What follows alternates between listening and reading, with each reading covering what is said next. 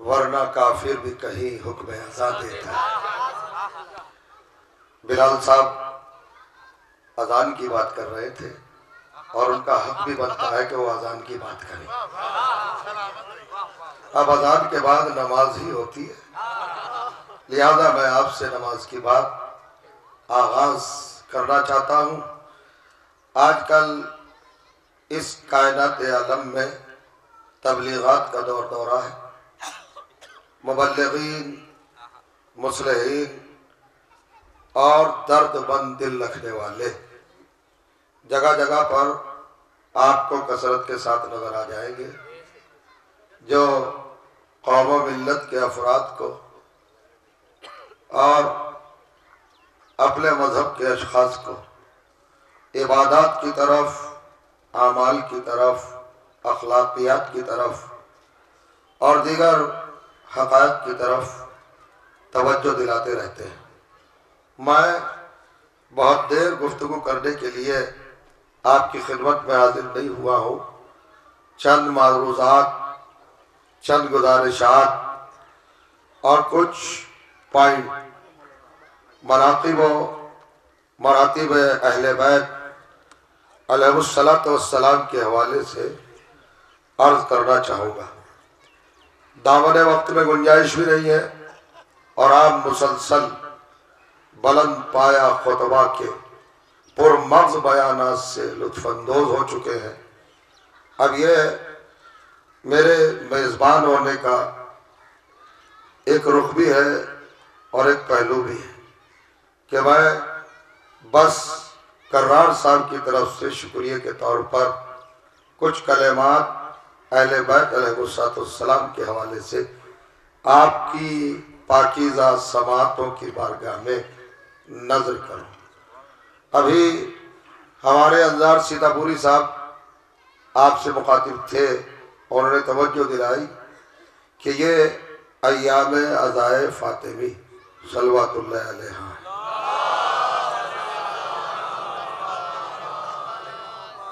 मैं शहजादी आलम के हवाले से आपकी बाबरत खिदमत में एक पहलू, एक एंगल और एक रुख पेश करना चाहूँगा।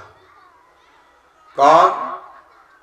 शहजादी आलमियान, क्या मरतबा है, क्या रुतबा है, क्या मकाम है, क्या मंजिल है, क्या दर्जा है और क्या अजमत है?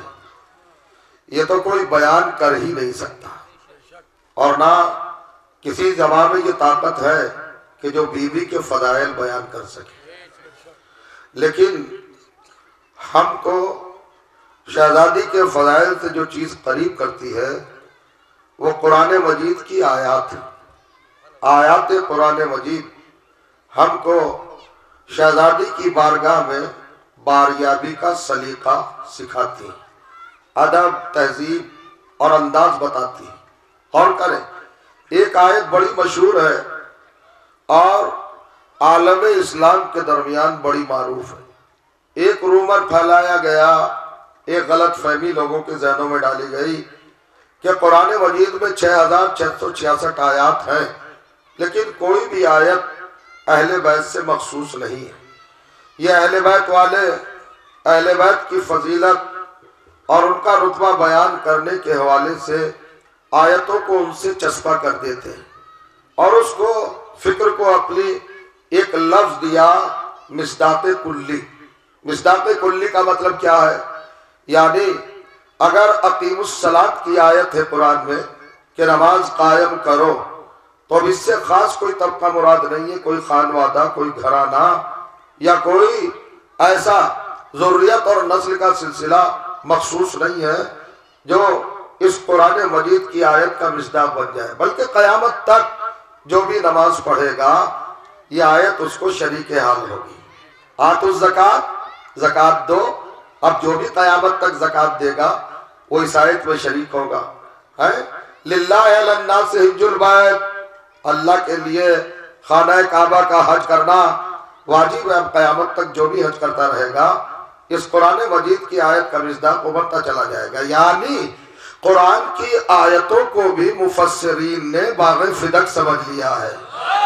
जिसके हवाले चाहे कर दिया जाए, जिसके लिए चाहे मखसूस कर दिया जाए, हर आयत में सबके सब शामिल है, हर मुसलमान शामिल है, हर नमाजी शामिल है, हर हाजी शामिल है, हर जक़ात देने वाला शामिल है।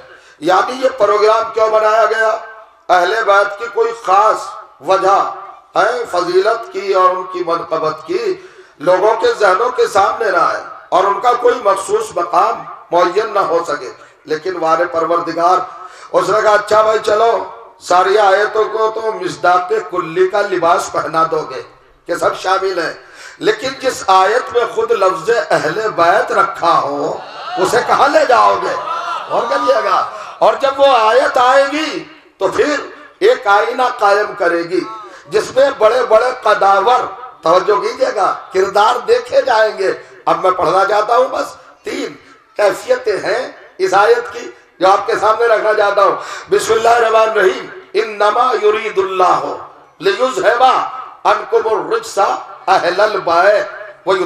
ततीरा इस आयत से तो सब वाकिफ है ना, हदीस किसा हमारे घरों की रौनक है, जीनत है, बरकत है, सादत है, तहारत है, कैफियत है। हमारे यहाँ हिफाजत का सामान उसी से होता है, बरकतों का सिलसिला उसी से चलता है, नस्लों का आगाज़ उसी से होता है, ताकि फितरत में शहूर तहारत रहे।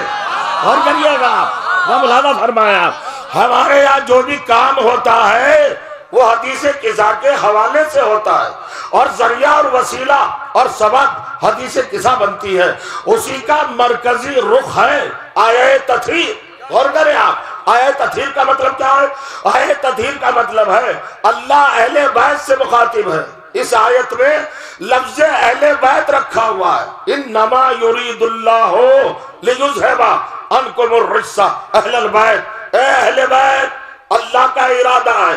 खिताब किससे है? अहले बैत से है। उम्मत मकसूद रही है, अहले बैत मकसूद है। ए अहले बैत ए मेरे घर के मालिकों, मुख्तार लोगों और करिएगा। जिन्हें मेरे घर पर इख्तियार हासिल है, वो अहले बैत है। अब ये भी पता लगाने की ज़रूरत है कि मुख्तार बैते परवरदिगार कौन लोग हैं? अल्लाह के घर के मालिक और मुख्तार कौन है? आदम से लेके आज तक का इंसान जो भी आया है, वो मजबूर होके आया है। और दलील यह है कि काबे के दरवाजे से काबे में गया है, लेकिन जो मुख्तार था, उसे दरवाजे की हाजत नहीं थी। दीवार में दरवाज़ा बना। सलवार पढ़ दे मोहम्मद मोहम्मद पर।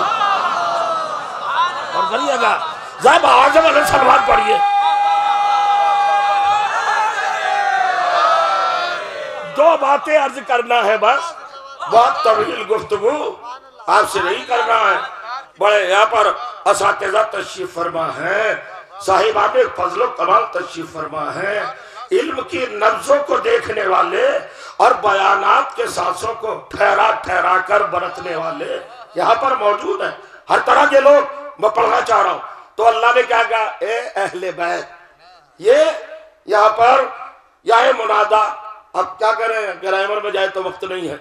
ए अहले बैत ए मेरे घर के मालिक और मुख्तार लोगों क्या इरादा है? मेरा इरादा है अल्लाह का। अल्लाह ने तय कर लिया है, डिसाइड कर लिया है क्या कर लिया है? मैं हर तरह के रिक्स को आपसे दूर ही दूर रखो। क्या कहा? अहले बहस से हर तरह के रिक्स को दूर ही दूर। अनकुमुर रिक्स रिक्स पर अलिफ्लाम है इस तकराक का। हर तरह का रिक्स मैं आपसे दूर रखूँगा। हम लोग आमतौर से तर्जुमा करते हैं निजासत। निजासत का मफहूम महदूद है। लेकिन रिस्क का मफहूम महदूद नहीं है। और करिएगा निजासत में तो कुल तेरह चौदह चीज़ें आती है, है खून है मुर्दा है कुत्ता है सुअर है काफिर है है ये चीज़ें हैं है निजासत में। लेकिन में क्या है? झूठ है दरो गोई है धोखा है। गलत फतवेबाजी है किसी को विदती कहना है। और जो कीजिएगा मक्कारी है यारी है दगाबाजी है धोखाबाजी है जालसाजी है चार सौ बीसी है ट्वेंटी फोर ये सारा चीज़ें क्या है? ये सब रिक्स में आती है। झूठ रिक्स है किसमें रिक्स है फरार रिक्स है मैदान छोड़ना रिक्स है। और करिएगा किस, किसी भी महाज से गायब हो जाना रिक्स तवज्जो अजीब गरीब की तरफ़ लाना चाह रहा हूँ। और बैठे हुए पूछिए, हज़ारों माना है रिस्क हर तरह के ऐप को रिस्क कहते हैं। हर तरह के ऐप को रिस्क कहते हैं। और रिस्क ही नहीं, और करिएगा। मौत भी रिस्क है। मौत रिस्क है ना? मौत रिस्क है। अभी फतों की बात हो रही थी। क्या कैफियत की बात है? मौत खुद रिस्क है। अभी आप मुझसे मुसाफा कर रहे हैं, मिल रहे हैं, गले लग रहे हैं, प्यार कर रहे हैं सुबह अल्लाह माशाल्लाह कह रहे हैं, और अभी जाके मेरी रूह परवाज हो गई, और मेरी बॉडी पड़ी है, अब जो भी छुएगा, उस पर गुस्ले मसे मैये तो आज यानी मेरा जिस्म इतना न जिस हो गया, किसने किया? मौत ने किया है ना?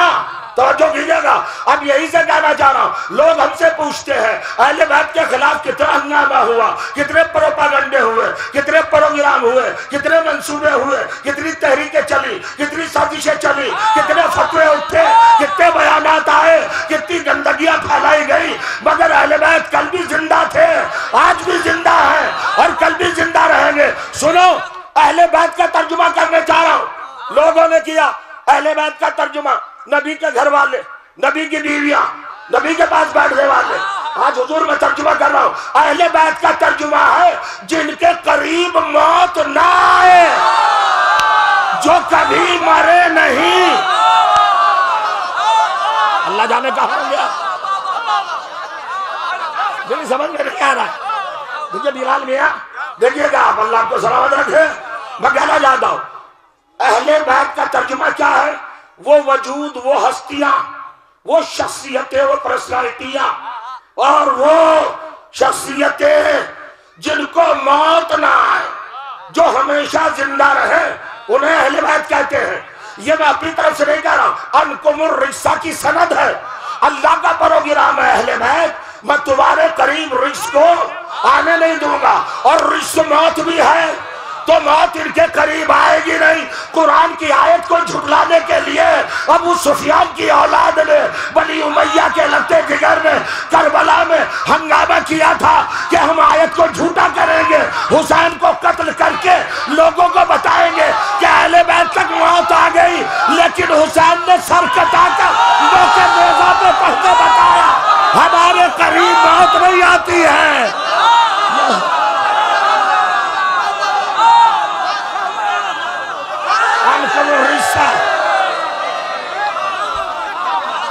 आप आवाज़ सलमान पढ़िएगा मोहम्मद वाले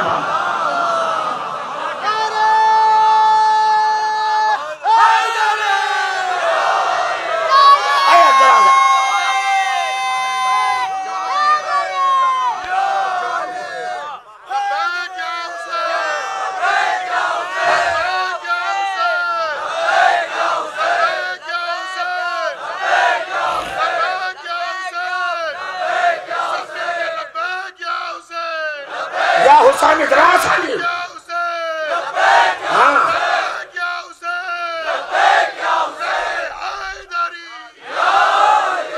अब आप एक मरहला समाज पर आ गए हैं इन नमा युरीदुल्लाहु लियुज़हिबा अन्कुमुर रिज्सा अहलल बैत ये अल्लाह का प्रोग्राम है अल्लाह की तहरीक है, अल्लाह का मिशन है। ये अपने अल्लाह का इरादा है। क्या इरादा क्या तय कर लिया? अहले बैत में आपके करीब किसी भी तरह के रिस्क हो। कोई ऐब अहले बैत के करीब नहीं आएगा। कोई नक्स अहले बैत के करीब नहीं आएगा। कुछ दूर दूर से फतवे दे रहे हैं। और हम अहले बैत के करीब नहीं आएँगे। तुम क्या नहीं आओगे? कुरान पहले ही बता चुका है। तुम अभी कैसे सकते हो भाई? ऐब तुम नक्स तुम रिज तुम, नजासत तुम नलाजत तुम, पलीदगी तुम, दहशत गर्द तुम, आतंकवाद तुम, फसादी तुम फितना वरवर तुम, फतवा परोश तुम। कैसे आओगे अहले बैत के करीब और रिस आएगा ही नहीं। और करिएगा। यहाँ पर अलमाए हक का दिशा होता है। खुदा करिएगा। चूँकि उन्होंने हमको तवानाई आता की है। अल्लाह का इरादा क्या है? पहले बैत हम आपसे हर तरह के रिस्क को दूर ही दूर रखेंगे। उसके बाद क्या कहा? वयुताकुम देखिए, हमारे यहाँ हजूर आपने भी किताब तारक पढ़ी होगी। हमने भी पढ़ी। हम तो जानते हैं तफसरे में भी है। और शरलुमा में भी है शर इस्लाम में भी है। हमारे यहाँ तो इबादत का जब बाग खुलता है तो तहारत का तस्करा पहले होता है। क्योंकि निजाजत की हालत में इबादतें नहीं होती। पाकिजगी पाकिजगी रूह इबादत है। हर जगह इबादत होती है। आपने देखा होगा, बाबू तारत जब हम तहारत की किताब पढ़ रहे थे तो हमें तहारत की भी काउंटिंग कराएगी उसके बाद फिर अपोजिट का और उसके अजदाद का शूर भी हमको अता किया गया। निजात इतनी है और तहारा इतनी है। मिट्टी ताहिर, पानी ताहिर, धूप ताहिर, यानी सूरज, इंतकाल, इस्तेहाला, ये सब चीज़ें क्या है? ये सब मुताहरात कहलाती है पाक करने वाली चीज़ें। गौर करिए, मगर उंगलियों पर गिन ले। आप इतनी चीज़ें पाक करने वाली हैं। मगर कायनात में पाक कितनी चीज़ें हैं? ये कोई काउंट कर सकता है? नहीं कर सकता। इसलिए कि आसमान पाक, पूरी ज़मीन पाक, समंदर पाक, हर चीज़ हवा पाक, फजा पाक, खला पाक, घटा पाक, तूबा पाक, कौसर पाक, सलसबील पाक, तस्लीम पाक, जन्नत पाक, जन्नत बाबा पाक, जन्नत अदल पाक, अहले बैत के चाहने वाले पाक, और बोलिएगा वो खानदान पाक तो पाकिजगी का अगर आप शुमार करते चले जाएँ तो सत्तर साल की उम्र, पचहत्तर साल की उम्र, पैंसठ साल की उम्र खत्म हो जाएगी और तहारत की काउंटिंग नहीं हो पाएगी। एक ना एक बचता ही चला जाएगा। सरकार, कितनी तहारत है इस कायनात में? अल्लाह ने जो भी कुछ पैदा किया, ज़्यादातर वो पाकिजा है। हम उन्हें नजिस बनाते अल्लाह तो खैर का खालिद है ना। शर का खालिद तो है नहीं। वो तो खैर को पैदा करता है। तो उसने हर चीज़ को पाक पैदा किया है। किसी वजह से ये चीज़ें नजीस हुई हैं। और अगर आप रवायात की गहराई में उतरे तो सिर्फ़ वही चीज़ें नजीस है कि आलम अलस्त में जब उनके सामने अली की विलायत को पेश किया गया, उन्होंने कबूल करने से इनकार कर दिया। अल्लाह ने किसी को कुत्ता बना दिया, किसी को सुअर बना दिया, किसी को काफिर बना दिया। किसी को मुश्किल बना दिया हराम जाए गिनते चले जाए। गिनते चले जाइए। तहरात की अददी कैफियत बढ़ती चली जाएगी। ये चीज़ पाक, ये चीज़ पाक, ये चीज़ पाक। अजायसी और भाई शराब पाक फुका, नजिस शराब नजिस, शुक्रान नजिस, अल्कोहल नजिस, नशे में लाने वाली चीज़ नजिस। निजासात की काउंटिंग भी बढ़ती जाएगी। इंसान अल्लाह से कह सकता था, परवरदिगार, मुझे उम्र इतनी थोड़ी दी और पाकिजा चीज़ें और नजिस चीज़ें इतनी पैदा की कि मैं सबको गिन भी नहीं सकता। अल्लाह ने कहा, हमारा करम सुन, तुझे ज़रूरत क्या है? परेशान होने की कि निजासतें गिनता फिर और तहरतें गिनता बढ़े। अहले बैत के दरवाजे पे आके बैठ जा। हमने वहाँ पर बोर्ड लगा दिया है कि अहले बैत, आपसे हर तरह के रिक्स दूर रहेगा, हर तरह की तहरत आपके करीब रहेगी। बस ये देखता चला जा, कौन अहले बैत के करीब आ रहा है, कौन अहले बैत से दूर जा रहा है। और लिखता चला जा।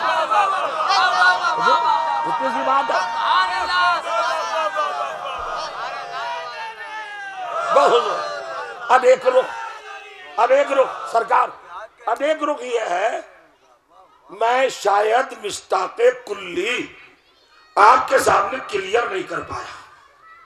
मिस्ताक कुल्ली का मतलब होता है, एक ऐसा लामहदूद मफहूम जिसमें सब आ जाए बनी नो सबके सब आ जाए। नमाज़ जो भी पढ़ रहा है ना, वो नमाजी है ना तो अकीम सलात में है ना, नमाज़ पढ़ो में वो शरीक है, कयामत तक तो ये आयत सब पे डिवाइड हो गई सबको मुश्तरक। तो कुरान की छह हज़ार छह सौ पैंसठ आयतें लोगों ने आम कर दी। अल्लाह ने एक ही आयत उतारी, जिसमें लफ्ज अहले बैत लिखा। और तो जो जा रहा हूँ। मैं अब जुमला कहने जा रहा हूँ। इन कराम की मौजूदगी में। अरे भाई मुसलमानों, छह हज़ार छह सौ पैंसठ आयतें पहले बैत की शान में नहीं है ना? मगर ये आए अखीर तो उनकी शान में है। जी हाँ इसमें तो अहले बैत लिखा है, हम इनकार कैसे करेंगे? तो फिर तस्लीम करो। अगर आए तथीर अहले बैत के लिए है तो अब अहले बैत इतने बुलंद नज़र आएँगे कि नौ मुस्लिमों की बात तो जाने दो। बड़े बड़े मुरसलीन और अंबिया इनके सामने पस्ता कद नज़र आएँगे। आप कहेंगे, कैसे सुनिए? चलते हैं आदम से। आदम से क्या कहा अल्लाह ने सलात नमाज़ कायम करो। किसे पढ़ना पड़ेगी? आदम को। अल्लाह तो नहीं पढ़ेगा ना। आदम पढ़ेंगे। आदम का काम है नमाज़ पढ़ना। पढ़िए। हज़रत नू, रोजा रखो। कौन रखेगा रोजा? हज़रत नू।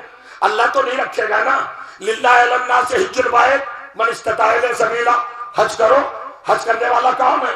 नबी, पैगंबर, रसूल मुरसली साहिबान किताब, साहिबान शरीयत, साहिबान कलमा, साहिबान उम्मत, मासूम हस्तियाँ मुताहर शख्सियतें, ये नबियों का सिलसिला, सब जब अल्लाह कह रहा है, नमाज़ पढ़ो तो पहली मंजिल में अम्बिया है ना? अम्बिया नमाज़ पढ़ेंगे, रोजा रखो अम्बिया रोजा रखेंगे, हज करो अम्बिया हज करेंगे, जक़ात दो अम्बिया जक़ात देंगे, सजदा करो अम्बिया सजदा करेंगे, अल्लाह तो नहीं करेगा ना? तहारत करो अम्बिया तहारत करेंगे, अल्लाह तो नहीं करेगा ना? तस्वीर पढ़ो, फरिश्ते पढ़ेंगे अम्बिया पढ़ेंगे, अल्लाह तो नहीं पढ़ेगा ना। तहलील करो अम्बिया तहलील करेंगे, अल्लाह तो नहीं करेगा ना। तकदीस करो अम्बिया तकदीस करेंगे, अल्लाह तो नहीं करेगा ना। कहना यह चाहता हूँ, हर नबी को अपना काम करना है। अल्लाह इन्वॉल्व नहीं करेगा अल्लाह शरीक नहीं होगा। गौर करिए, नमाज़ पढ़ना तुम्हारा काम है। आदम से लेकर ईसा तक के पैगंबरों, नमाज़ पढ़ते रहो। मैं अल्लाह हूँ मैं नहीं पढ़ूँगा। रोजा रखना तुम्हारा काम है। रोजा रखते रहो। मैं अल्लाह मैं नहीं रखूँगा। लेकिन जब वो अल्लाह अहले बैत के तारुक पर आया तो ये भी तो कह सकता था कि अहले बैत आप बहुत बड़े लोग हैं। मगर एक बात का ख्याल रखना निजासत अपने करीब ना आने देना और तहारत को अपने से दूर न जाने देना। या अंदाजे बयान बदल दिया, या अल्लाह ने कहा, ये मेरा इरादा है। निजासतों को दूर। अल्लाह जाने कहा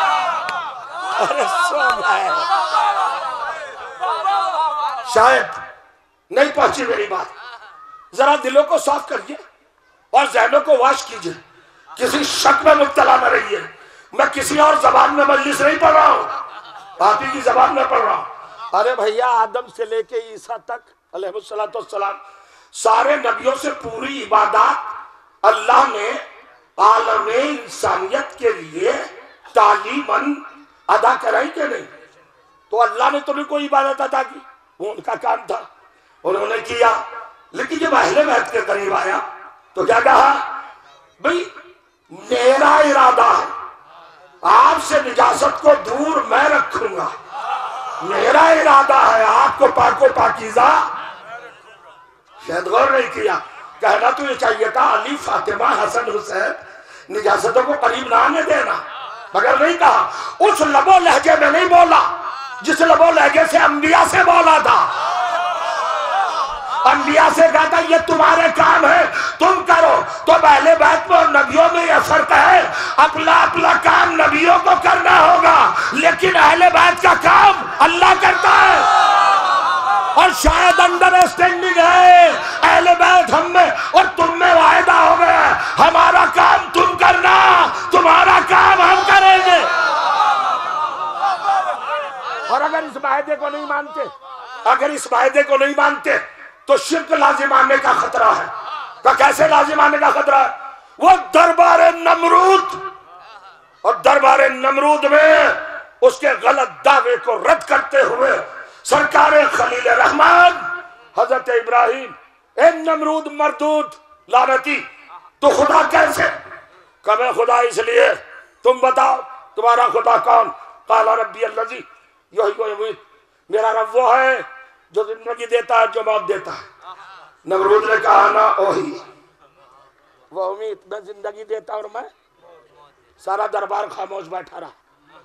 हमारे यहाँ बहस होती है आज। दरबार खामोश, वो कह रहा है, मैं ज़िंदा करता हूँ। यह कसना हुआ कह, एक को सजाए मौत थी, उसे आज़ाद कर दिया, कैद खाने से बुलाकर एक बेचारा सड़क पे चला जा रहा था। उसे बुला के उसका गला हड़ दिया। कदे को मैंने मौत भी दी और हयात भी दी। ये नमरूद ऐसे ही कह रहा था जैसे आजकल मोदी जी कह रहे हैं।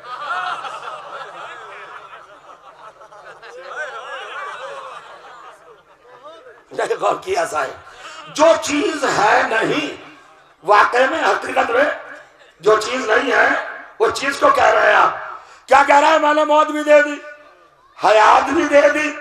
तो अब हज़रत इब्राहिम को जलाल आया।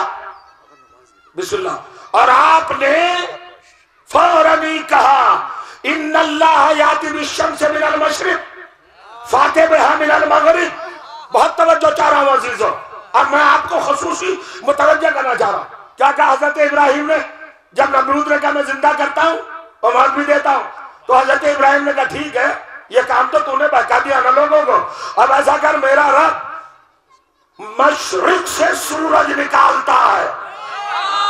अगर तुझे अल्लाह होने का शौक है और परवरदिगार के मुकाबले में आने का शौक है तो काम भी मुकाबले वाला कर निकाल सूरज मगरिब से। कफर, जिसने कुफ्र किया था, शर्मिंदा होके रह गया। आयत तो कुरान में आज तक है, काबा बनाने वाले तौहीद के सबसे पहले मुबल्लिग हज़रत इब्राहिम ने अल्लाह की वहदत का क्या नक्शा पेश किया? कि वो अल्लाह है, जो मगरिब से सूरज निकाल दे।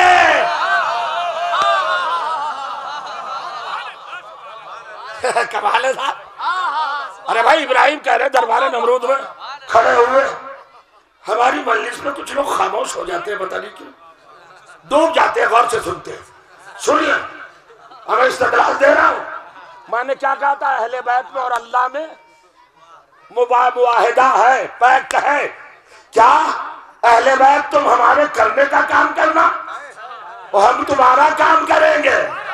सुनिए, अगर इस नज़रिए को रद्द कर दो तो शिरक लाजिम आएगा। इसलिए कि हज़रत इब्राहिम पाँच हज़ार साल पहले नमरूद के दरबार में चैलेंज कर गए थे कि अगर तू खुदा है तो मगरिब से सूरज निकाल, सर पर कुरान रख के बताओ। अगर नमरूद निकाल देता सूरज तो खुदा मानना पड़ता कि नहीं? तो नमरूद ने तो नहीं निकाला, मगर किसी ने तो निकाला है।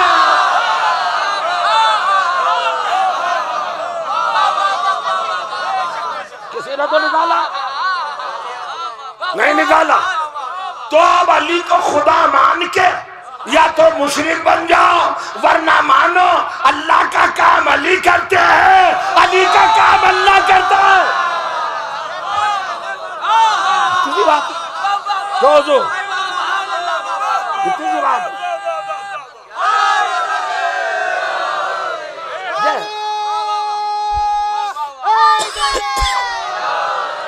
और एक खतरनाक पहलू। जरा महसूस कीजिएगा मैं पूछना चाहता हूँ, सारी मिल्लत मुस्लिमा से। अल्लाह ने कहा अकीमुस्सला तो सबने नमाज़ पढ़ी। पूछ रहा हूँ गौर करिएगा। पढ़ी ना, नमाज़ का मतलब क्या है? है ना? कमाने साथ हर आयत का मतलब समझता है। मुसलमान, अल्लाह ने कहा, नमाज़। एक साहब उठे, उन्होंने कहा, जी, मैं नमाज़ पढ़ रहा हूँ। और वो लंगोटी बाँध कर नाचने लगे। आप मान लेंगे नमाज़ पढ़ रहा है? बेहुदा बदतजीब कम्बा, नमाज़ का तमस्कुर कर रहा है। काफिर कहीं का। ये नमाज़ है? तो आप भी जानते हैं नमाज़ क्या है। हर आयत का मतलब जानते हैं। जानते हैं ना? इस आयत का मतलब कौन नहीं जानता कि जो मगरिब से सूरज निकाल दे। उसके लिए हज़रत इब्राहिम ने क्या कहा? मैं कोई नई ताजी बात तो कह नहीं रहा हूँ, गड़ी हुई। जो तौहीद का पिलर है सबसे पहला।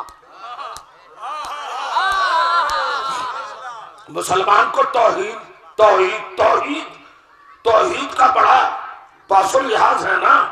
सबसे ज़्यादा खतरा तौहीद को है मुसलमान की। हर रुख पर शिरक शिरक शिरक हर रुख पर नज़र आता है। तो सबसे पहला तौहीद का मुबल्लिक कौन? हज़रत इब्राहिम। हज़रत इब्राहिम ने सबसे बड़ा दावा क्या किया कुरान में? मैंने कहा भैया, सुबह की नमाज़। मार्च का महीना, ठंडी हवा।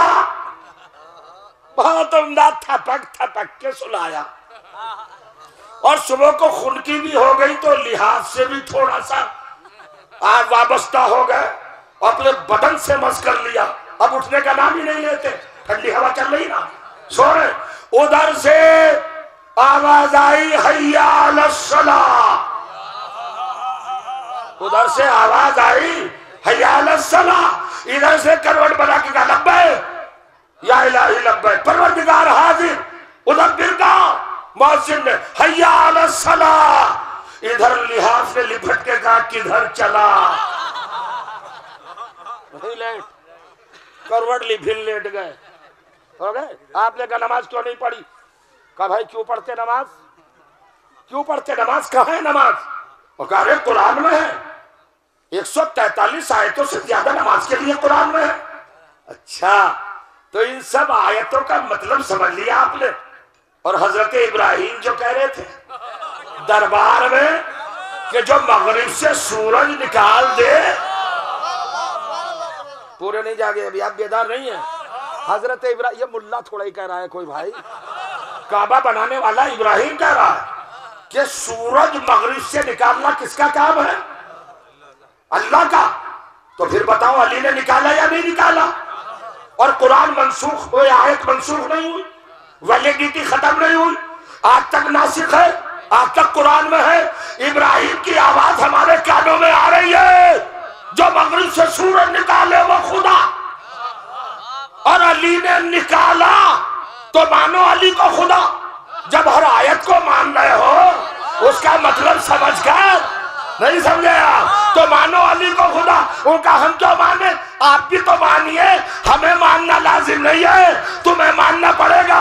इसलिए कि तुम्हारे बुज़ुर्ग ने कहा था, कुरान काफ़ी है, हमारे बुज़ुर्ग ने नहीं कहा था।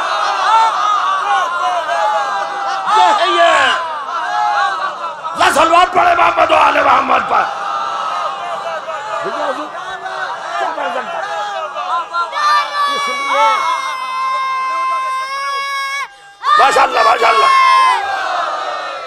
मैं वो खुदा की कसम, इस तब पर बोल रहा हूँ, पढ़ रहा तो कुछ और चाह रहा था।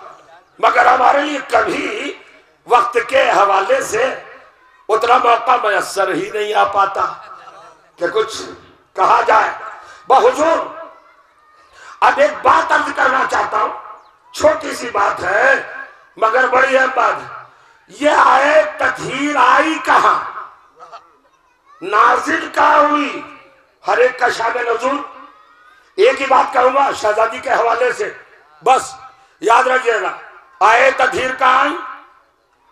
बाज़ार में, दरबार में, गार में,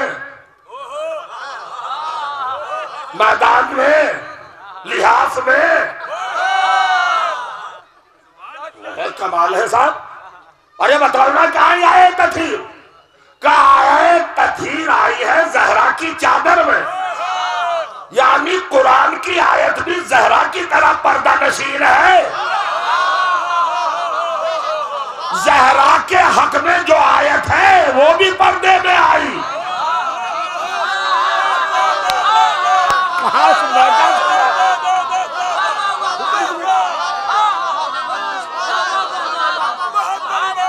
भैया आप तक पहुँच रही बात, सलवार पढ़िए मोहम्मद आल मोहम्मद पर। छोटी सी बात।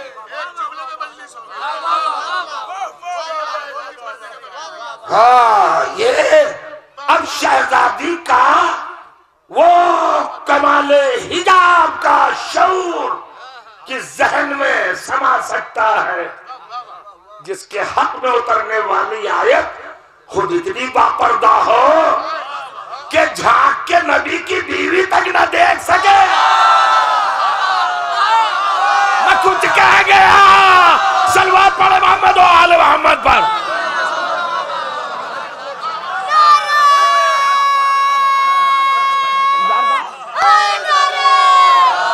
बस अजीजो बस खत्म हो गई बात। एक छोटी सी बात कर रहा हूँ, अय्या में अजाए फातमी, सलामुल्लाह और एक जहरा के शहदाई आशिक मुहिब और जुर्रियत जहरा, डॉक्टर सैयद नसीम हैदर काजमी के ईसा सवाब की मजलिस। एक शोला बया खतीब और एक बावन वाला शाहिर के बात की मजलिस है ईसा सवाब की। मैं ये पॉइंट देने जा रहा हूँ इसका सवाब चाहूँगा, परवरदिगार। तेरी बारगाह से के डॉक्टर साहब को मिले। और आप अब सुने, हर आयत का शान नजूल है। शान नजूल जानते? बैकग्राउंड क्यों नाजिल हुई? कहा नाजिल हुई? कैसे नाजिल हुई? रीजन सबब गरज, वजह, इल्लत जो कीजिएगा वाई या सवाल उठे। क्यों नाजिल हुई? कब नाजिल हुई? कैसे नाजिल हुई? कहा नाजिल हुई? तारीख क्या थी? वक्त क्या था? है, जगह क्या थी? मकाम क्या था? मौका क्या था? कैफियत क्या थी? रुख क्या था? तो सुनो, आए तथीर कब आई?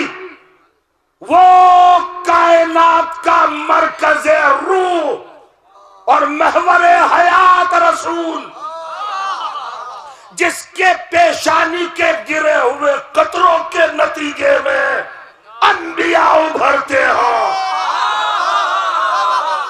सारे रसूल कौन है? सारे रसूल कौन है? आदम से लेके ईसा तक। सबकी हैसियत क्या है?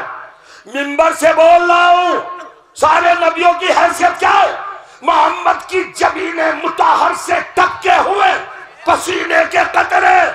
बेशर्मो अब भी तुम्हें शऊर न आया, जिसके पसीने का ये आलम हो, उसके खून का क्या आलम उसका लहू क्या होगा जिन में, या अली दमों का दमी। अली, तेरा खून, मेरा खून। जहाँ पसीने का मामला है ना, वो रसूल, पाँच मिनट की बात। वो पैगंबर, वो सैयद आलम रहमतुल्लिलालमीन बशीर नजीर, इमामुल मुरसलीन। पैगंबर, जिसकी पेशानी के कतरे वजूद पजहीर हो तो रसूल और नबी बने। वो आया। कहा आया? आए तथीर सुनो। आया फातिमा की देवड़ी पर। आने के बाद का या बुनैया, इन्नी ला अजदो फ़ी बदनी जोफन। बेटी, फातिमा, मैं अपने में जोफ महसूस कर रहा हूँ। कमज़ोरी वीकनेस या रसूलल्लाह, बदन बदन जाने दीजिए। कहना बदलना जिसम जसद। क्या बात हो रही है जोफ की? नबी हमारी तरह का नहीं होता, वो नूर है। नूर अव्वल, जिसका पसीना नबी बनते हो, रसूल बनते हो। उसके यहाँ जोफ का कंसेप्ट क्या है? जोफ का मतलब वीकनेस कमज़ोरी, है? नाताकदी। नबी कह रहे, बेटी, तेरा बाप कमज़ोरी महसूस कर रहा है। तो कहीं और जाइए ना। बेटी के दर पे क्यों आए का उम्मत को बताने आया हूँ। जब जब कमज़ोरी महसूस करना। इसी देवड़ी पर आना, पहचान लो। मैं बेनियाज रसूल। नियाजमंद होकर इस डेहरी पे आया हूँ। अच्छा साहब, खत्म हो गई बात। एक छोटी सी बस। फ़िक्र देना है आपको। क्या कहा उस कायनात की इकलौती अथॉरिटी मुख्तारो मालिक कायनात मोहम्मद ने क्या कहा बेटी से? बेटी, अपने बदन में कमज़ोरी महसूस कर रहा हूँ। मैं मज़हब बदल दू, किसी बीवी से नहीं कहा। नहीं कहा, बेटी के दरवाजे पे आके कह रहे अब रुक जाइए यही। क्या कहा ये कायनात का सबका खाजा दाता मालिक सैयद आका। मौला औला अफजल बर्तर कायद, रहबर, रहनुमा, पेशवा। और जो की जगह ताहा, मुजम्मिल मुद्दसिर नून, वल कलम। माही अहमद, मोहम्मद, मुस्तफ़ा मुश्तबा और करिए जिसके पसीने के कतरे नबूवतों में ढलते हो, रिसालतों में ढलते हो। वो फातिमा बाते कह रहा, बेटी, मेरे बदन में जौफ। कहीं और नहीं गया। कहीं और नहीं गया। बेटी के दर पे आया। कहीं और चला जाता तो एहसान हो जाता। और मोहम्मद मुस्तफ़ा की रिसालत की घुट्टी में पड़ा हुआ है। किसी और चौखट का एहसान न लेना। इसी चौखट का एहसान लेना इसलिए कि ये अबू तालिब का घर है। आए जाने के बाद कहा, कायनात का मालिक कह रहा है, बेटी, में कमज़ोरी महसूस कर रहा हूँ अपने बदल में। ठीक? कायनात की इकलौती और सबसे बड़ी बेटी और सबसे मुनफरिद दुख्तर ग्रामी कदर में एक बार तरह का या बताइनी जो का बिल्ला है या बता मिनजौफ हो गई बात? अगर बैठ के सुनी ना तो अपनी खिताबत का न समझूँगा। मोहम्मद कह रहे हैं, कायनात के मालिक, अपनी बेटी से बदन में जोफ, और बेटी कह रही, बाबा, मैंने आपको जोफ से अल्लाह की पनाह में दिया? ये देखो नब्बा से अदब। मेरे छोटे भाई, मेरी जान से ज़्यादा करीब बिलाल काजरी यहाँ पर तशरीफ़ फरमाए नब्बा से अदब क्यों साहब? बताइए मुझे।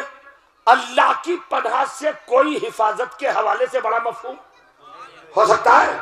शायरी की दुनिया में आपने कोई तलाशा है? नहीं। अल्लाह की पनाह क्या मतलब? दी एंड सेफ्टी, सिक्योरिटी, हिफाजत। अल्लाह की पनाह स्टॉप अच्छा अल्लाह की पनाह। खाली मेरी इस कैफियत पर नहीं। अब कुरान में चलो। ईसा पैदा हुए, मरियम पैदा हुई तो मरियम को अल्लाह की बारगाह में मरियम के माने रखेगा। इन्नी मेरा शैतानी रजीब मैं अपनी इस बेटी को और इसके बेटे को अल्लाह की पनाह में देती हूँ। हज़रत आदम ने कहा और इजो कबिल्ला परवरदिगार में तेरी पनाह चाहता हूँ। हज़रत नू ने कहा परवरदिगार तेरी पनाह है। थे पढ़ने का वक्त नहीं है, वरना ढेर लगा देता हम मार लगा देता। हज़रत इब्राहिम ने कहा अल्लाह मुझे तेरी पनाह चाहिए। हज़रत मूसा ने कहा अल्लाह मुझे तेरी पनाह चाहिए। हज़रत यहिया ने कहा हज़रत जकरिया ने कहा हज़रत मशलन ने कहा हज़रत तीनान ने कहा हज़रत अनूस ने कहा हर एक ने कहा अल्लाह तेरी पनाह अल्लाह तेरी पनाह अल्लाह तेरी पनाह अल्लाह की पनाह मांगते हुए सब लोग चले गए, मगर किसी ने आज तक यह न बताया कि पनाह कैसी होती है।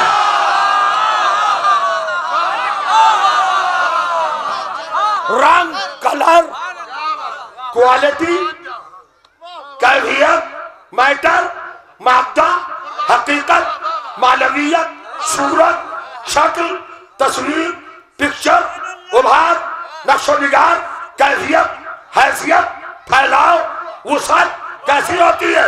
चादर की कैसी हो क्या होता है? पनाह, अल्लाह की क्या चीज़ है? नमाज़ का मतलब जानने वालों। अल्लाह की पनाह का मतलब क्या है? कहा हमें तो पता नहीं, आदम से लेके ईसा तक सब पनाह पनाह करते रहे। किसी ने कहा ही नहीं, मोहम्मद है आखिरी रसूल। इसके बाद कोई आएगा नहीं। अगर यहाँ भी पनाह का मतलब ना बताया गया तो समझ में नहीं आएगा। उसने आके फातेमा के घर पे कहा, बेटी, जो महसूस करता हूँ, बेटी ने फ़ौरन कहा, बाबा, मैं आपको अल्लाह की पनाह में देती हूँ, बिला फजल कहा, ये तीन बिल किसी आइलिया मानी? बेटी, जरा अपनी चादर ले आ।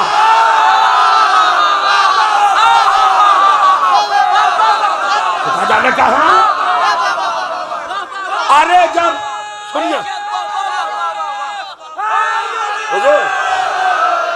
अरे जब मरकज तहारतो इसमतो इफ़त उम्मे इमामतो हमसरे विलायत, फखरे मशीयत, सुनो जुमला जवाब तौहीद। कहाँ पढ़ रहा हूँ मैं?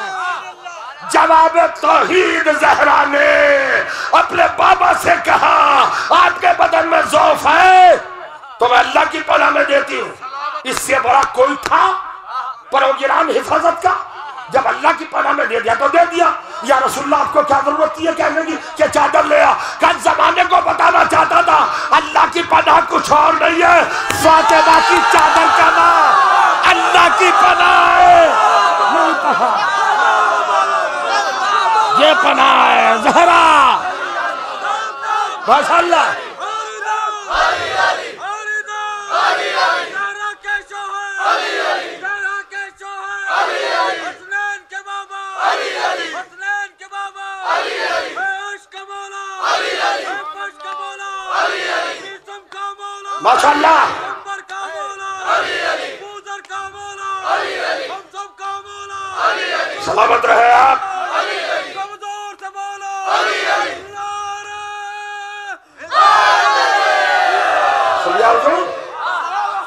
क्या है? ये इतीनी दिल किसाइल यमानी। फगतीनी बे। फातिमा चादर तो ले रहा और लाई नहीं माना तो बता दिया। अब उसका असर और तासीर बता रहे हैं। बेटी मेरे ऊपर डाल दे ताकि मेरा जोफ दूर हो जाए।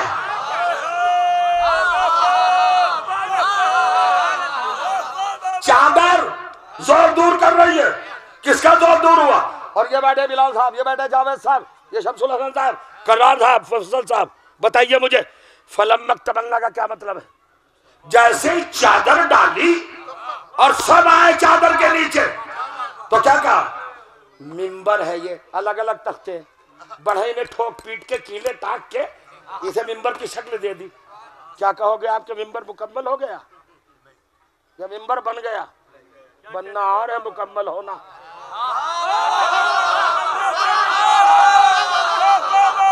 शहजादी ने कहा, फलम मकतब हम एतबार से कामिल हो गए। मेरे बाबा का ज़ोर जाता रहा। अब एक जुमला कहना चाहता हूँ, फातिमा जहरा के फजाइल को बताने का दावा करने वालों, सजदा करो चादर जहरा को, अजमत को पहचानो। बीबी की चादर की अजमत क्या? सुनो सूरा बनी इसराइल, सत्रहवा सूरा गौर करिएगा, बयासी आयत, इरशाद हुआ।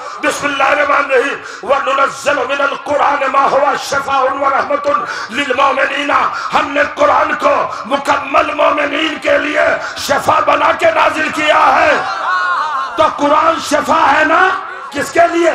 मुकम्मल मोमिन के लिए। तो फिर पढ़ू पूरी तस्वीर नबूतों के दानों को गर्दिश में लाओ आदम की शिफा, कुरान मजीद। नूह की शिफा, कुरान मजीद, इब्राहिम की शिफा, कुरान मजीद, मूसा की शिफा, कुरान मजीद, ईसा की शिफा, कुरान मजीद। अब समझो, मोहम्मद का कुरान है। एक जुमला कहना चाहता हूँ, गौर कर, मोहम्मद का कुरान वो है जो सारे नबियों के लिए शफा है और जहरा की चादर वो है जो खुद मोहम्मद के लिए साहिब कुरान के लिए शफा है। हो गई मंजलिस। मेरी तरफ़ से खत्म हो गई। मैं पढ़ चुका, जितना मुझे पढ़ना था। अब मंजिल है बेटी, जरा चादर उड़ा दी। फातिमा जहरा ने चादर डाली। अब कोई आ सकता है इस चादर में? सुनिए, लोग कहते अरे हाँ हुजूर। उधर से जिब्राइल कहता है, परवरदिगार, कौन है ये चादर में? अल्लाह ने तस्करा किया। जिब्राइल ने कहा, जाओ, अता जनूली, अन आहबेता एलल अर्ज़, परवरदिगार इजाज़त है, ज़मीन पे जाऊँ वह अदखला माहूम, तहतल के साथ, और चादर में उनके साथ दाखिल हो जाऊँ आवाज़ आई, कद अजिन तो लका, बेशक तुझे इजाज़त, ले आया अल्लाह से इजाज़त। तो जब इजाज़त मिल गई तो फिर डेहड़ी पे खड़ा होकर क्यों कह रहा है? आओ। भाई साहब, जब अल्लाह से इजाज़त हो गई, सब नहीं जागेंगे तो मैं नहीं आगे बढ़ूँगा। इस फ़िक्र को आगे नहीं बढ़ाऊँगा। मैं ये पूछा चाहता हूँ, एक आयत को छोड़कर कुरान की सारी आयत बताओ। अल्लाह ने कहा, जिब्राइल, नमाज़ की आयत ले जा। आया कि नहीं लेके? पूछा, आ जाऊँ क्या? माइन कविन सब क्या है? आजकल तो बड़ा शौक चला है अरबी का। बोला फरमाइएगा क्या हज़रत जिब्राइल ने कभी पूछा, हज की आयत के वक्त लाऊं? जक़ात की आयत के वक्त कहा लाऊं? नहीं। अल्लाह की तरफ़ से इजाज़त था। अरे भाई, अल्लाह का भेजा हुआ है जिब्राइल। इनडायरेक्ट चलाता था। नहीं, डायरेक्ट, बिल्कुल बराह रास्त। आ गया। टोकना रुकना इस इजाज़त, क्या मतलब? लेकिन जब आए तथहीर ला रहा है तो अल्लाह इजाज़त दे चुका, कद अजिन तो लगा।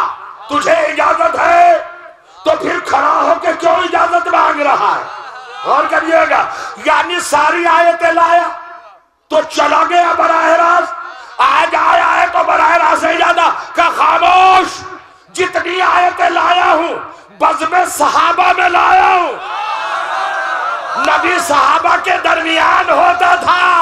आयत लाता था। तो पूछने की क्या ज़रूरत थी? आज मोहम्मद अहले बैत के दरमियान है। और फातिमा जहरा मरकज है। नहीं आऊँगा। मैंने पूछा, जिब्राइल आएगा क्यों नहीं? का फिर सच्ची पूछते हो। हाँ बता दे जिब्राइल।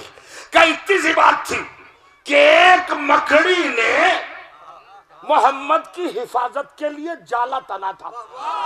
मैंने पूरी ताकत लगा ली थी गार में जाने के लिए, उस जाले को नहीं तोड़ सका था।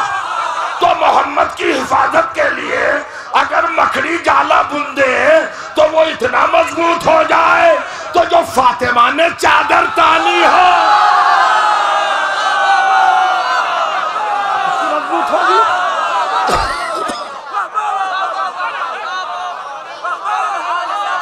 ये बाजू मेरे आजमाए हुए। ये जिब्राइल को बता था, जहरा की। जिब्राइल जानता था। आप नहीं जानते? अच्छा कभी कभी अगर मैं मल्लिस पढ़ता हुआ होता इस वक्त और सन्नाटा हो जाता यहाँ तो क्या होता? उनका जी, फिलोप। गाय फुस। हालाँकि ज़िक्र अहलबाद कोई भी करे ताइद है। अस्तगफिरुल्लाह की फिलोप फिलोप नहीं होती। अगर खुलूस के साथ ज़िक्र किया जाए तो हर मौके पर कामयाब होता है। और जहाँ फिक्रे एक हो, जबाने एक हो, मरकज मवद्दत एक हो क्या मतलब बिलाल ने पढ़ी माने पढ़ी? अब्बास इरशाद ने पढ़ी माने पढ़ी नीसम जैदी ने पढ़ी। माने पढ़ी, फ़िक्र है क्या? अहले बैत की खिदमत का जज्बा है। वही पढ़ रहा हूँ जो इन्होंने पढ़ा है। लेकिन भाई साहब, बशर तो हूँ। अगर आप लब बोलते तो ज़िंदगी भर मुझे मलाल लेता कि अपने इलाके में ये तोहीन। इसको कहते खिसिया जाता है, यानी मुफज्जल साहब बताइए आप। नहीं। जी हजूर, खिसियाता क्या नहीं? तो जो काम मेरे छोटे खुर्द, बिलाल मेरे छोटे भाई, अब्बास इशाद मेरे छोटे भाई मिल सब गोद के पाले में है भाई, पूछिए। मेरे बहुत छोटे बड़ा फख्र है मुझे। इनकी बल्ली से तो आसमान पर पहुँच गई। वो मैं जैसा बैठा था तो क्या होगा मैं खिसिया जाऊँगा इनसे जलने लगूँगा।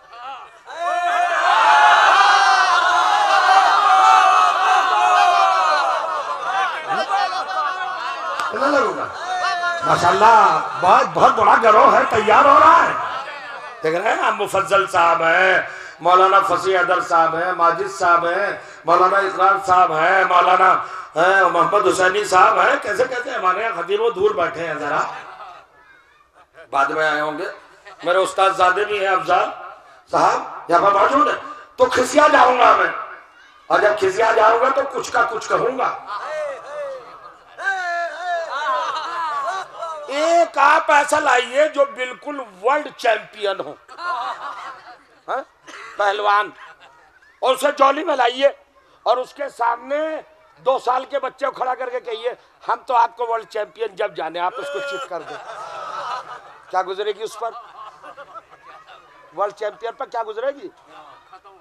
है ना? भाई, यही हुआ जिब्राइल के साथ। जब शाम को आया गार के दहाने पर तो बकरी को मुस्कुराते हुए देखा, क्या कर रही है? कहा मैं अल्लाह के रसूल की हिफाजत कर रही हूँ। क्या कैसे कर रही? कहा जाना जो मिल दिया।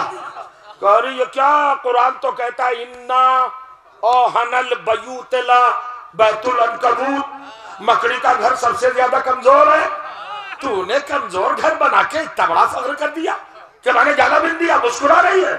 तो एक मरतबा कहती है, मकड़ी, बहुत ताकतवर हो ना। दस्ते लूट को अपने एक पर पर सात दिन और सात रात उठाए रखा था। जिब्राइल तुम्हारी पेशानी पे पसीना नहीं आया था, बहुत तकड़े हो ना। और मेरे जाने पर तुम मुस्कुरा रहे हो, हिम्मत हो तो तोड़ के दिखाओ।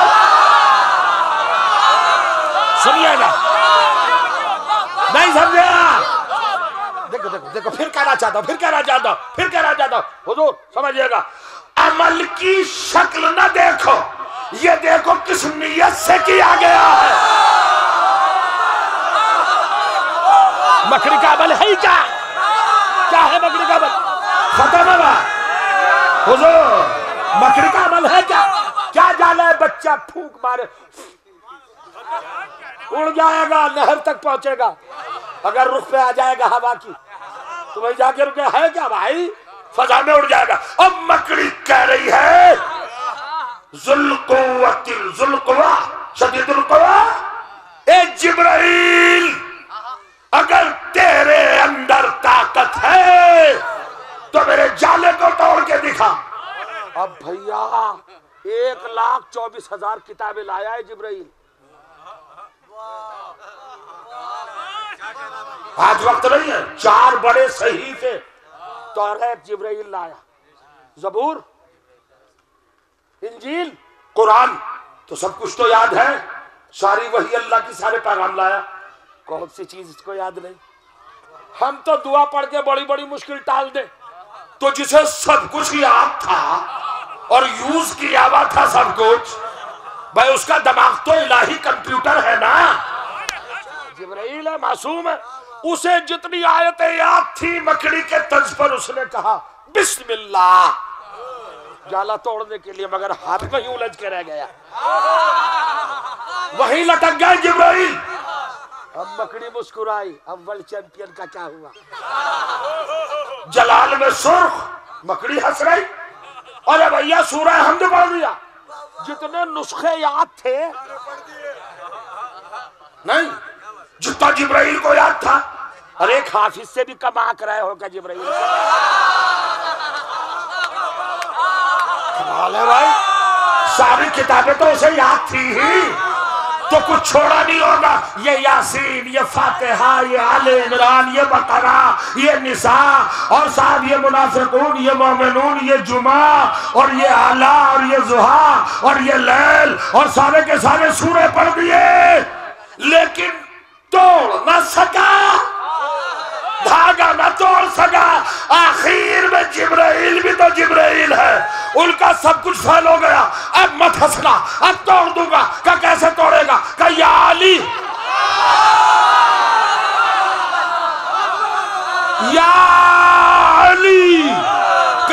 जाले पे हाथ डाला।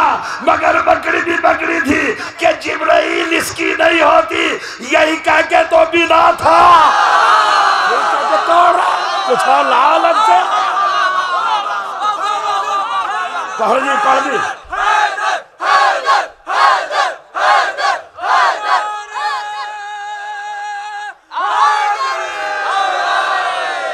बस हुजूर वो जो नतीजा देना था रिज़ल्ट देना था, वो ये है, लोग कहते हैं, मकड़ी के जाले में इत्तिता देखो मिंबर पे इस मौलवी का देखो, कैसा बहक रहा है।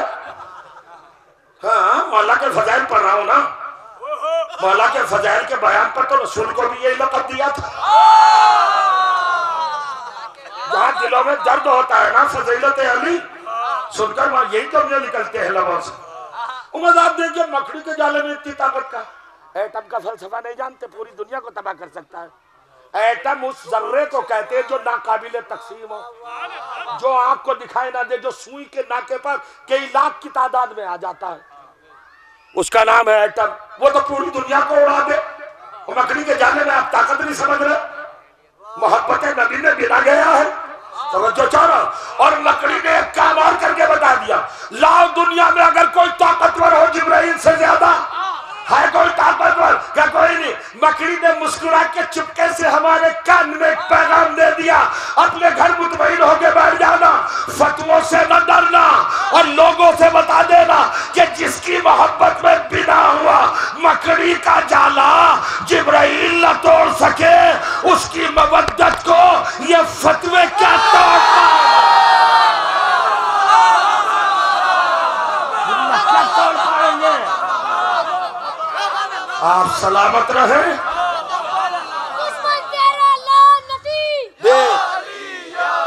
बस बेटे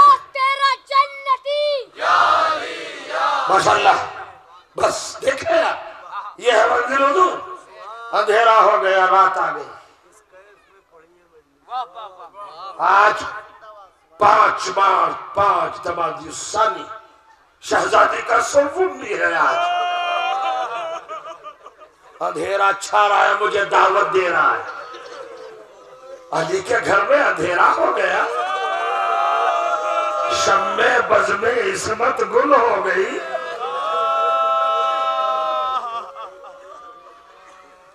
एक मिनट के मसायब पढ़ूँगा बस। और तोहफाए सवाब समझ कर अल्लाह की बारगाह से हासिल करके अपने कलम फरमा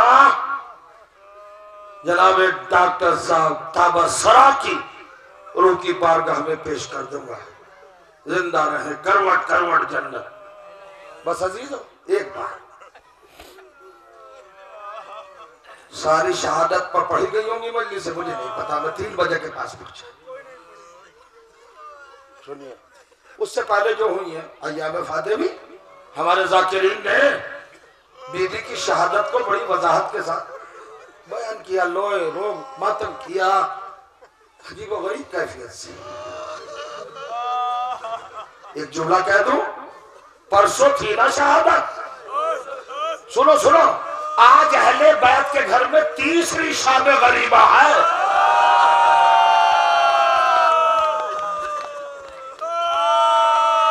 कुलसूम से पूछो।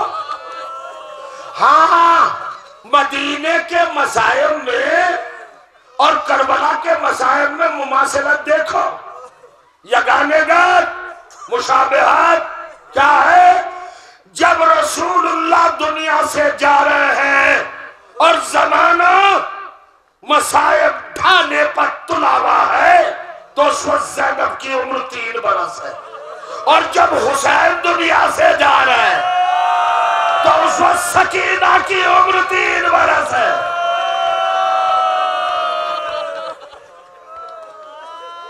हुजूर, आपने सुने? किसी ने सरकारी वफा के मसायब पढ़े होंगे? किसी ने सरकार सैयद शुदा के मसायब पढ़े होंगे? किसी ने दीदी के मसायब पढ़े होंगे? मगर मुझसे समझो, आज मैं तीन बरस की बच्ची के मसायब का एक गोशा आपके सामने रखना चाहता हूँ। कितने मसायब अभी तो शुरू भी नहीं किया, आप रोने लगे ना। ये मारफत का आलम है, ये तकर्र कुर्बत नजदीकी। अहले बैत से मवद्दत आपके आँसू खुद निकल आए। रो रहा है ना? कितनी करबला पढ़ ली हमने। सुनो भाई, खुदा की कसम मिंबर से बोलना अभी करबला पहुँची नहीं हम तक। आप कहेंगे कैसे? इसलिए कि जिन्होंने करबला को लिखा करबला में, वो यजीद के राइटर थे। हमीद इब्न मुस्लिम, यहूदी। अभी मिखनाफ, मुस्लिम ये सब पैर थे यजीद के। और जिसकी हुकूमत मौजूद हो उस हुकूमत के दौर में अगर फसाद हो तो मसायब को घटा के रिपोर्टिंग की जाती है। अगर पाँच हज़ार मरते हैं तो पचास बताया जाता है। कि नहीं? तो यजीद जैसा जालिम बादशाह उसके दौर में करबला हो रही है तो कितना घटाया होगा करबला को? वो घटी हुई करबला भी जब आती है ना तो हम बर्दाश्त नहीं कर पाते। अगर पूरी करबला आ जाती, पूरी करबला को तो झेलना बस अहले बैत का काम था। सुनिएगा रोते हुए जाइएगा हज़रत अब्बास के बाजू कटा हुए। हमें पता। अली अकबर के सीने पर बर्छी लगी, हमें पता। असगर के गले पर तीरे शेषोबा लगा। हमें पता, सब कुछ हमने देखा है, मगर करबला पहुँची नहीं है पूरी। क्या क्या हुआ करबला में? चलो मेरे साथ चलो। खत्म हो गई बात। यही शाम का आलम है, यही सत्रह मुहर्रम है। कूफे में जैनब आ रही है। कूफे की आबादी साढ़े सात लाख की है।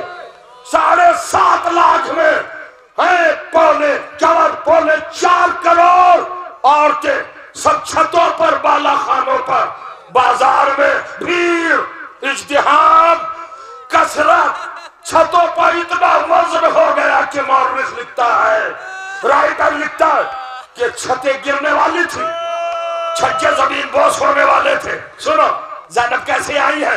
बढ़ना ऊट पुष्ट। हाथ पसे गर्दन से बंधे हुए। जन अब्बास की शहजादी। हाथ बंधे हैं। हाथ बंधे हैं, हाथ। पूरी करबला नहीं आई है उर्दू कमाल हाथ बंधे। मुलाजा कीजिएगा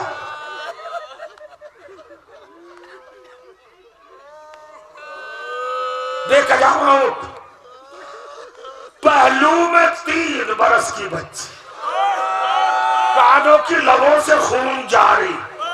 रुखसार तमाचों की जद से नीले।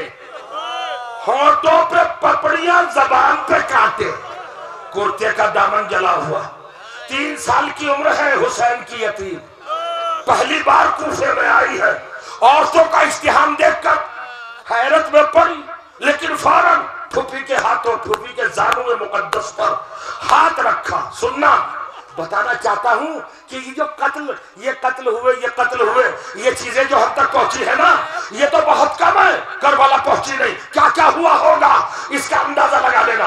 जनाब सकीना ने फूफी के जानू मुकद्दस पर अपने नाजुक हाथों का पार दिया बोझ डाला। जैनब मुतवज्जो हुई। क्या बात है सकीना जान? मेरे भैया की अमानत। सकीना, बोलो क्या बात कब अम्मा एक गुजारिश है। कब बेटी बाज़ार कूफा में गुजारिश। क्या है बेटी? का अम्मा वो जो छत के किनारे एक औरत खड़ी है, उसके लिए दुआएँ खैर कर दो। आवाज़ ना रोक लेना। अली की बेटी, सानिया जहरा फूफी, वो खड़ी है दूर और रोक लो आवाज़। रोक ले आवाज़, आधा मिनट हो गया। आधा मिनट और बाकी है। सुनिएगा, क्या मसायब हुए होंगे? आपसे बेहतर कौन दर्द कर सकता है? जनाब सकीना कहती है, अच्छी बुद्धि अम्मा। भतीजी की गुजारिश को आपने गौर फरमाया। कहा सकीना? कर दूँगी दुआ। मगर सबब बताओ, दुआ क्यों करा रही हो? तुम तो कूफे में रही नहीं। तुम्हें क्या पता ये कौन है? तो बच्ची ने एक जुमला कहा तो भी अम्मा दुआ कर दो।